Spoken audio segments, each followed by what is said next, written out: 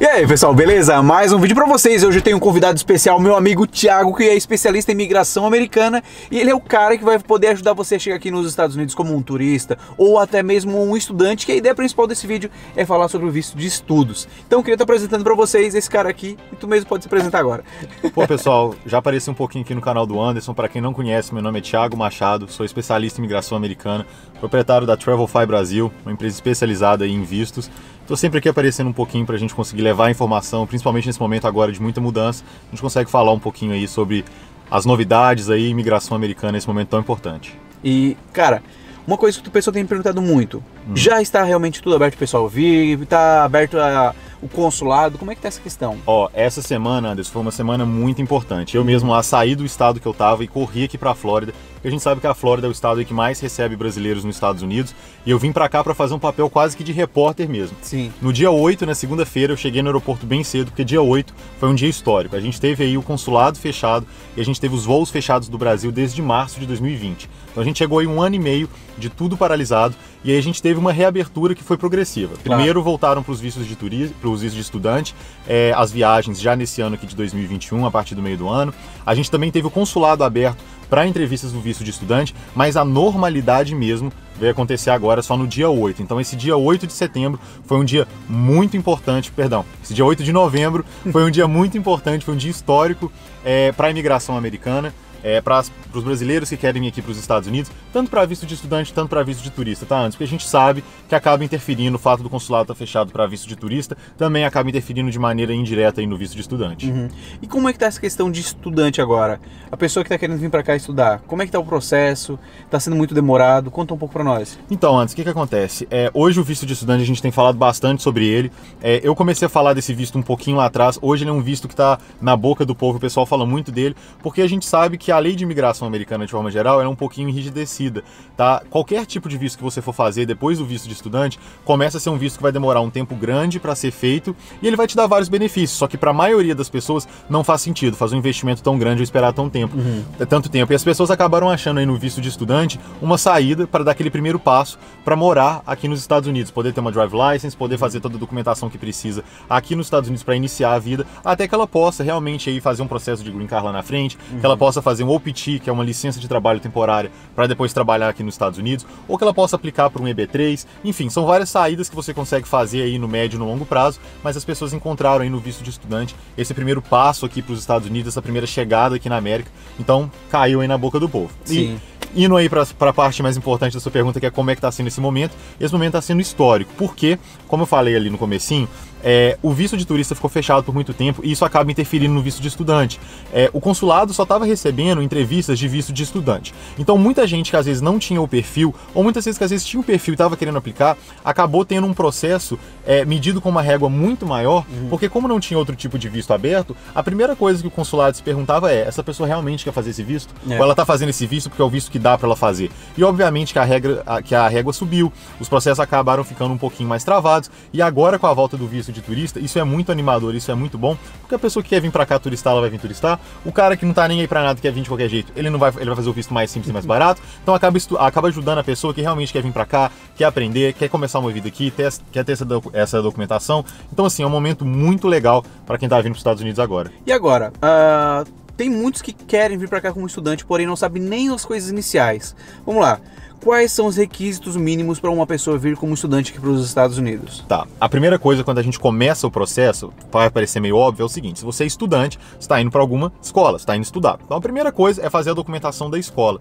Tem um documento que talvez você já escutou e se você não escutou o nome, é muito importante você já se familiarizar com esse nome, que é o I-20. Você vai escutar bastante esse documento. O I-20 ou o I-20 é um documento da escola que vai explicar para você simplesmente tudo o que você vai fazer aqui. Por quanto tempo você vai ficar, é, qual é o valor que vai custar esse programa, onde vai ser a sua escola, o que, que você está vindo fazer, é um dos documentos mais importantes que você vai ter. Apesar do seu visto ser emitido por quatro anos, independente da, do tempo que tiver no seu I-20, o I-20 vai ser o documento que você vai usar para fazer a aplicação do visto. Então, primeiro passo, Anderson, I-20 na mão. Tá? Primeiro tá aí. Pegou então, o I-20 com a escola. primeiro lugar, onde é que encontra o I-20 ou o I-20, procure uma escola que te forneça isso. Tem muitas escolas aqui nos Estados Unidos que dão aula de inglês mais barata, porém não fornecem o I-20 ou o I-20. E tem muita gente que pergunta: ah, meu filho está indo para uma high school, está querendo estudar ali. ela vai fornecer o I-20? Não, não vai fornecer o I-20. Então, como o Thiago estava falando, é necessário uma escola que seja realmente é, credenciada. Credenciado. O que, que acontece? São dois tipos de instituições que vão poder te fornecer o I-20, tá? Vai ser uma escola de inglês e faculdades, elas também vão poder. Basicamente é isso, com algumas exceções. Então o que, que acontece? Se você for para um high school, talvez você até consiga, se for um high school particular que tem aquela licenciatura para emitir o I-20. Então você escolheu uma escola, tá? Ou a gente vai, vai te indicar uma escola de inglês aqui nos Estados Unidos que possa emitir a documentação. Uma vez que aquela documentação foi emitida, tá? Pode ser por uma escola de inglês é, literalmente de ESL, tá? Que significa inglês como segunda língua. Ou, por exemplo, uma faculdade. A gente tem a opção também de você estudar inglês dentro da faculdade. Em algumas regiões, igual aqui na Flórida, o pessoal acha que vai ser uma coisa absurda. Uhum. Mas o pessoal consegue ter essa experiência por um preço baixo. Nossa, por o mesmo é preço bom. que ele pagaria para uma escola de inglês, ele consegue, às vezes, estudar dentro de uma faculdade. E não quer dizer que porque a faculdade vai ser melhor. Depende aí da região e tal. Mas você tem essa opção também, o que é bastante legal. E, além disso, você pode depois fazer um curso na faculdade, ou você já pode entrar direto na faculdade. Enfim, cada caso é um caso. Você sabe o que vai fazer mais sentido para você mas tem que ser alguma coisa nesse sentido para conseguir fazer a documentação. E aí, uma vez que a gente tem isso daqui, que a gente já tem essa parte de documentação, que é o I-20, carta de aceitação e tudo isso, aí a gente vai para as próximas etapas aí, que é a famosa DS 160 que a gente tem que preencher. A gente vai marcar o seu CASV, que é o Centro de Atendimento ao Solicitante de Visto, para você tirar o seu fingerprint, para você tirar a sua foto antes da sua entrevista. A gente vai fazer o seu treinamento, fazer sua preparação para a entrevista e com tudo isso, aí sim você vai na entrevista, que é o último passo para você conseguir pegar o seu visto americano aí depois de ter passado por todas essas etapas. E outro requisito, quantidade de dinheiro na conta. Como é que funciona essa questão? O que, que acontece, Anderson? É, geralmente, tá? Não vou falar que são todos os lugares, mas a maioria vai chegar para você e vai falar assim: olha, você tem que ter mil dólares por mês durante essa quantidade de tempo. Ou você tem que ter essa quantidade de valor por essa quantidade de tempo. O que, que acontece? O pessoal fala isso muitas vezes não é que está errado, uhum. mas é uma informação que está muito incompleta. Uhum. E por isso eu sempre brinco muito, sabe? Que eu gosto muito de trabalhar dentro da minha empresa com pessoas que estão aqui fora, com pessoas que vivem isso daqui, é o que a gente chama de skin in the game, porque o pessoal sabe fazer as coisas de forma diferente da forma certa. Por exemplo, é, a faculdade que eu estudei, é, a anuidade dela, se você fizer uma, uma multiplicação do valor do semestre são dois semestres por ano, uhum. vezes oito, vezes o dólar, daria mais ou menos aí é, um milhão de reais, porque são 42 Caramba. mil dólares. Uhum. É, então são 42 mil dólares pelo semestre, uhum. se você multiplicar dá mais de um milhão de reais. Aí você me pergunta, poxa, Thiago, mas você veio para os Estados Unidos fazer faculdade tal, você tinha um milhão na sua conta para fazer comprovação financeira? Não. Mas como que você conseguiu fazer então? Por isso que a gente sempre coloca o caminho certo antes, que é o seguinte. Quando você vem aqui é, para os Estados Unidos, são quatro pilares que vão basear esse valor da comprovação financeira. A comprovação financeira não é um valor inventado. Tá? A escola não chega para imigração e fala, olha, eu quero mil. Aí eles falam, eu quero dois. Ah, então vamos colocar mil e quinhentos. Não é assim que funciona. Uhum. O que baseia isso, antes, é o tamanho da sua família, a região que você vai morar, o tempo do curso que você vai fazer, se você tem acompanhante, se você não tem, tudo isso vai basear o seu programa. Então, claro. por exemplo, é, você como uma família, que você tem filhos, você tem esposa, etc., o custo para você ficar seis meses em Orlando é totalmente diferente do curso do Joaquim, que está indo solteiro, passar um ano, por exemplo, em Massachusetts. Uhum, exatamente. Então o que, que acontece? O pessoal às vezes chega e fala: Poxa, Thiago, eu queria estudar um ano e eu não tenho dinheiro para estudar um ano. Mas isso não precisa ser uma barreira para você estudar um ano. Porque o que, que a gente vai fazer? Em vez da gente chegar e falar: Um ano é tanto, a multiplicação é essa, se vira, e aí você deixa de fazer o seu sonho, o que a gente faz é o seguinte: a gente pega o seu extrato. Então, digamos que você tem um extrato de 5 mil reais, por exemplo, você tem um extrato de 3 mil reais. Cara, você não vai conseguir estudar um ano com status de 5 mil reais, de 3 mil reais.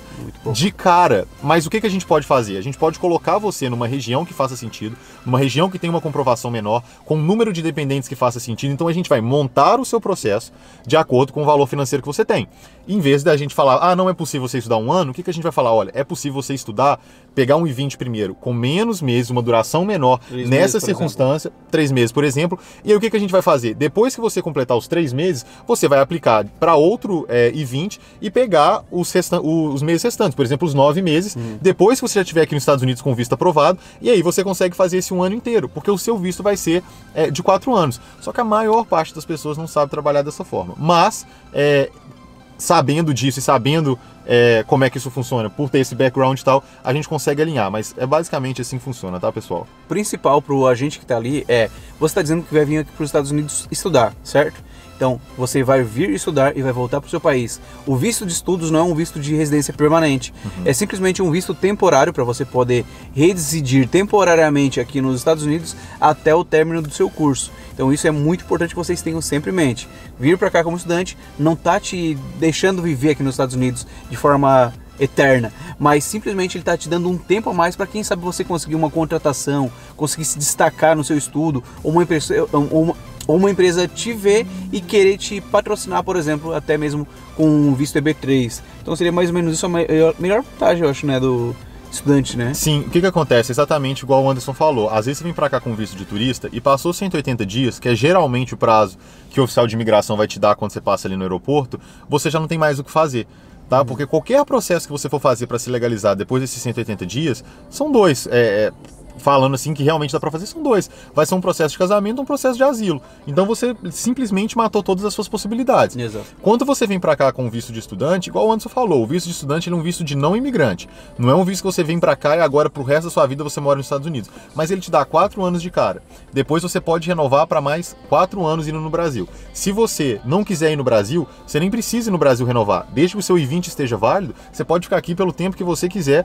Você não vai ter problema é, de imigração por isso, porque você já entrou com a validade do visto e você está fazendo um programa acadêmico. Então o que, que acontece? Você vai ter aí 4 anos, 8 anos, uma quantidade de tempo, talvez você consiga resolver até mais rápido, para você resolver a sua vida e ir para outro caminho, que o Anderson deu vários, várias uhum. possibilidades. Então assim, é para quem quer morar aqui é um grande primeiro passo, mas não é uma resposta definitiva. Mas é o primeiro passo que você pode dar aí de maneira mais acessível para realmente morar no país e estar tá exposto a essas outras oportunidades que vão aparecer ao longo do caminho. Exatamente. Uma coisa que é importante também, a cada vez que você for renovar o seu visto, por exemplo, para estender, você tem que novamente comprovar que você tem condições de se manter. Por exemplo, ah, meu pai está no Brasil, está me ajudando, então mostra o extrato bancário dos pais, por que, que eles estão te ajudando. É óbvio, eu sou um filho, eles estão tentando dar o melhor para mim, então isso é importante você ter em mente. Você precisa ter uma manutenção, mesmo quando você está aqui nos Estados Unidos por um tempo, para que você ainda continue comprovando que tem como você se manter aqui nos Estados Unidos. Não esquecendo que também estudante não é uma pessoa que pode teoricamente trabalhar. Tem algumas variações que permitem o estudante de trabalhar, né, Tiago? Por exemplo, trabalhar na própria instituição de ensino, né? É, nenhum visto hoje que você vai fazer para sair do, do Brasil e vir para os Estados Unidos, seja um visto de não imigrante, vai deixar você trabalhar aqui, tá? Porque às vezes o pessoal fala assim: nossa, eu escutei que o visto de estudante não pode trabalhar. Ele acha que ele vai vir como turista, que ele vai poder. Não é uhum. verdade. Praticamente nenhum visto vai deixar você fazer isso. Então o pessoal acaba usando o visto de, de turista para trabalhar e tal. A gente sabe que acontece, não é o ideal, mas as maneiras legais que você vai ter para você trabalhar aí com seu visto de estudante vão ser a seguinte: a primeira, que o Anderson acabou de falar aqui, tá? Que é você. A primeira é que o Anderson acabou acabou de falar aqui, tá? Que é você chegar na sua instituição de ensino e fazer um trabalho dentro dela. Isso vai te dar acesso é, ao número de seguridade social, tá? O famoso social aqui nos Estados Unidos, que várias pessoas querem ter acesso a ele, porque você vai estar trabalhando de maneira legal, você vai ter que pagar imposto, como se fosse um CPF, então você vai ter acesso a ele. Segunda forma de você fazer isso, tá? É você fazer um CPT. O CPT é uma licença para você trabalhar enquanto você está estudando. Seria o que no Brasil a gente chama de estágio. Uhum. A terceira possibilidade é o OPT, que é o que eu recomendo mais, que é quando você termina o seu curso, você faz a aplicação de um OPT, que é também uma licença temporária de um ano, renovável por outro ano, você já tem dois anos aqui para trabalhar, é, que você vai poder executar no mercado de trabalho americano aquilo que você estudou na sua instituição. E uma, uma, uma, dica aqui, por exemplo: você pode chegar nos Estados Unidos e estudar inglês. Terminou o seu curso de inglês, você pode estudar um Associate's Degree de dois anos. Depois do Associate's Degree de dois anos, você pode aplicar um OPT. E aí você pode terminar a sua faculdade fazendo baixos e você pode aplicar outro OPT. Cara, nessa brincadeira aqui, a gente está falando de vários anos. Então você tem, você tem muitos anos para se legalizar no país. Você tem muitos anos que você pode estar aqui no país e você tem é, maneiras de trabalhar. Então existem maneiras legais de você trabalhar com visto, de você ganhar documentação é, para fazer isso através desse tipo de visto, que outros vistos não vão permitir com que você faça. É isso aí. Então acho que deve ter explicado bem para vocês, mas não esqueça, se fica alguma dúvida, aproveita para comentar aqui embaixo e também estou deixando aqui na descrição desse vídeo os contatos do Thiago, caso você tenha alguma dúvida que não foi falado durante o decorrer desse vídeo, pode mandar um direct lá para ele ou mandar um zap, ele vai estar tá respondendo lá vocês. Thiagão, brigadão mais uma vez aí. Tamo Pode aí, dar um recado final aí pra galera? Pessoal, muito obrigado para você que assistiu aqui até o final. Tenho certeza que está muito interessado aí nos Estados Unidos e tal. É um prazer poder participar aqui do canal do Anderson, levar informação para vocês.